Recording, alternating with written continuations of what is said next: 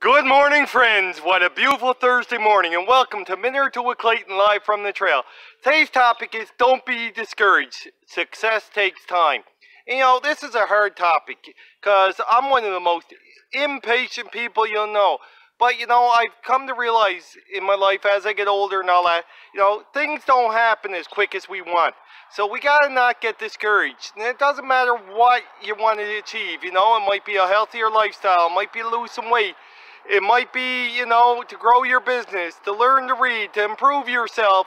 It doesn't matter what you want to be successful in.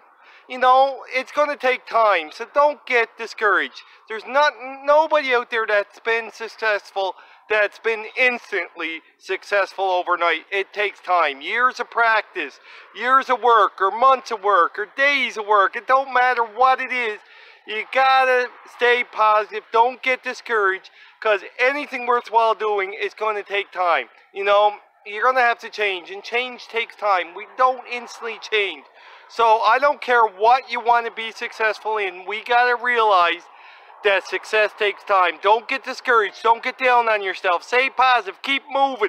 Keep moving forward like I talked about the other day. We just got to stay positive and not get discouraged.